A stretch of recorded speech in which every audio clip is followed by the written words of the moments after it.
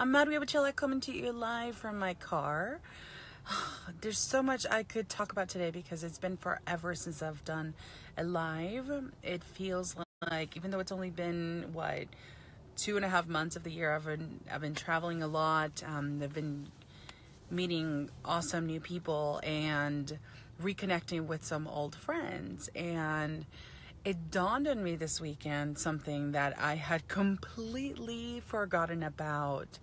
And when that conversation started about my wedding, and I'll get to it in a second, I was like, oh my God, like how many things have occurred, have happened over the past, I don't know, two, three years or more that you almost forget, you know? And it's so tempting to get stuck on what's not working now because it's it could be frustrating it could be um, disappointing it could be disheartening but i can guarantee your friends that in no time somebody somebody's gonna come tell you hey erica mary you know anna do you remember when this happened? And you would be like oh my god that happened?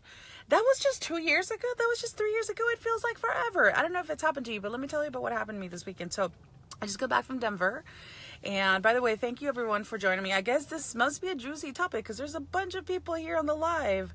So, okay, so I'm in Denver, and this friend of mine um, comes to see me, and she participates in my one day mastermind.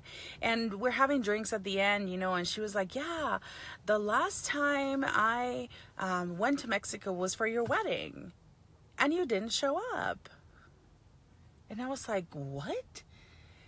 And it it's almost like part of what she said resonated, but part of it didn't. And I was like, "What are you talking about?" She's like, "Yeah, dude, we went to. I had already purchased my tickets for your wedding, but obviously it didn't happen." And I was like, oh my gosh, that feels like a lifetime or 10 lifetimes ago. And here's the thing, guys most of you don't know this about me, or maybe you do, I don't know, but I was engaged to be married and it happened really fast.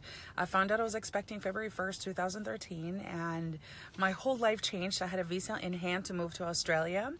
I um, so I had a visa in hand to move to Australia. I believe the visa arrived January 30th. February 1st, I found out I was pregnant, and by February 14th, Valentine's Day 2013, me and my boyfriend at the time we were engaged, and we had this aggressive schedule. So we had a wedding scheduled for April 19th, 2013, and we let our friends know, and you know we put money down on the venue in Cabo, and everything I'm telling you right now sounds like I'm talking about a different person because I am a different person but it's still me. Like I actually did this. I actually booked a venue, put money down. I was out shopping for a wedding dress when my whole life changed, and I'm not going to get into details about that. But the reason I wanted to bring this up is because, guys, that was one of the most difficult times in my life when I had to cancel the wedding. When I had to tell everybody, hey guys, you know, I can't give you any details, but we're not getting married and I am pregnant and I don't have a job. And everything that was on my vision board about leaving my job, moving to Australia, working from my laptop, you know, helping people. I remember this time around in my life, I was like, I just wanted to make a thousand dollars a month doing coaching. Like I just wanted to help people and get kind of paid for it. And um, and as soon as I said the yes to that, all these things happened. And my partner at the time, he fell deathly ill overnight. Um, in in it was like terrible. It was terrible.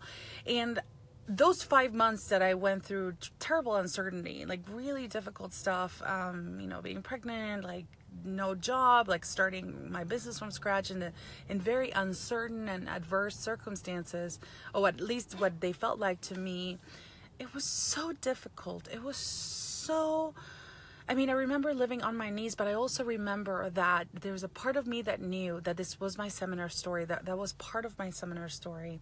And I wanted to share this video with you today and, and this message because how many of you are going through something that feels like it's eternal? You feel like it's lasting forever. And and it won't. And it doesn't. And when my friend brought that up this weekend, that she's like, I went to your wedding and you didn't show up for it, I was like, oh my gosh, I I've been through so much since then that I almost forgot I nearly got married. And obviously, you know, everything happens for a reason, and that was not the timeline of my life that I was supposed to go on. And that, you know, that's okay. You know, we're we're better people because that didn't happen and because I had to heal from that not happening and everything else that came undone when that was um, when that was going to happen. I am who I am because of all that. Um, but how many? I, I thought that that tunnel was eternal.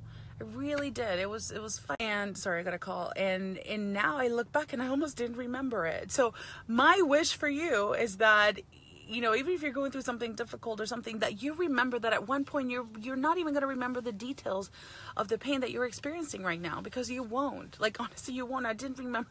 I didn't remember this, and I wasn't even embarrassed. I was just like, wow. I had three friends, and if you're watching this, if you're watching this, thank you for going to my wedding, even though it didn't happen. And but yeah it's like you never know what details are painful right now that you're going through that in in four years you're not even going to remember. And that's been my case. So